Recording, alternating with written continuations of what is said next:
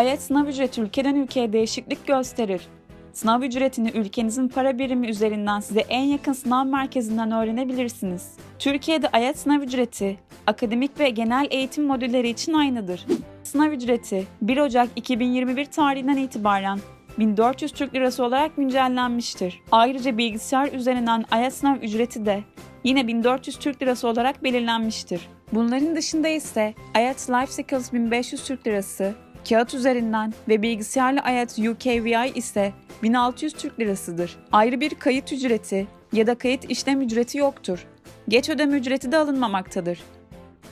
Daha önceki videolarımızda da belirttiğimiz gibi IELTS sınavını yapmak için yetkili iki farklı kurum bulunmaktadır. British Council ve IDP. British Council IELTS sınav ücreti. Eğer IELTS sınavına British Council üzerinden başvuru yapacaksanız, iki farklı sistem ile IELTS sınav ücreti ödemenizi yapabilirsiniz. Ödemenizi IELTS sınav kaydını yaparken kredi kartı ile veya IELTS sınavı kaydınızı oluşturduktan sonra banka havalesiyle yapabilirsiniz. IDP IELTS sınav ücreti.